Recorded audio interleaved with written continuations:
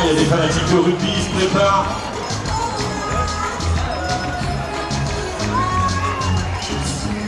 T'es sûr qu'il est passé?